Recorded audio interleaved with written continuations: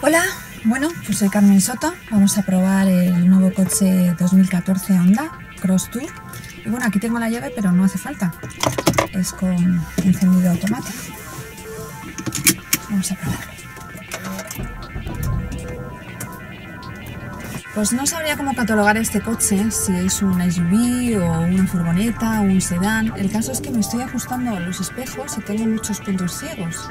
Pero bueno, me han dicho que hay una cámara en ese espejo retrovisor que justamente cuando vaya a direccionar a la derecha se me activará la cámara y lo veré desde aquí. O sea que vamos a hacer la prueba a ver si esto funciona de verdad.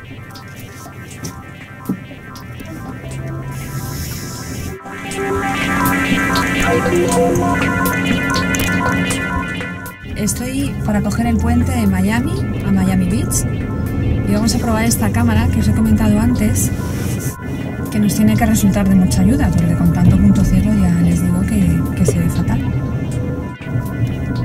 Y como siempre hay mucho tráfico.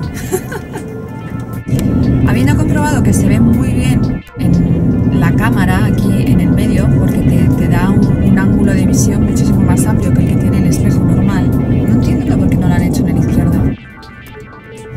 hemos visto eh, todo lo que se refleja en la, en la, pantalla del espejo retrovisor derecho lo podemos ver en, en la pantalla donde, donde, se ve el GPS, o sea, la parte central aquí.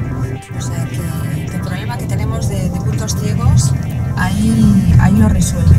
Pero insisto, solamente en el espejo retrovisor derecho. En la izquierda y tengo que mirar por el espejo,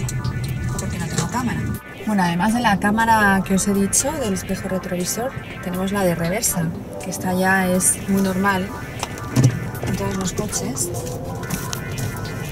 y que ya el coche que no lo tenga la vamos a echar de menos.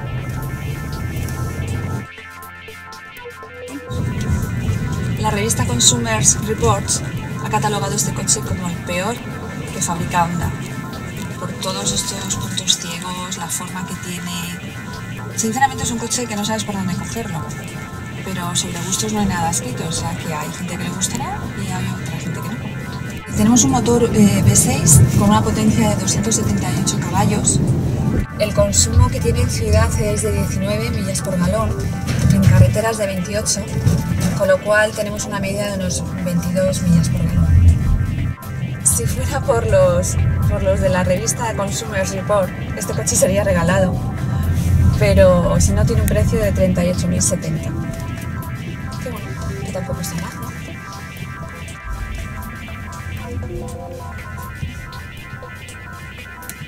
Pues hasta aquí hemos terminado ya el test del Honda 2014 Cross Tour.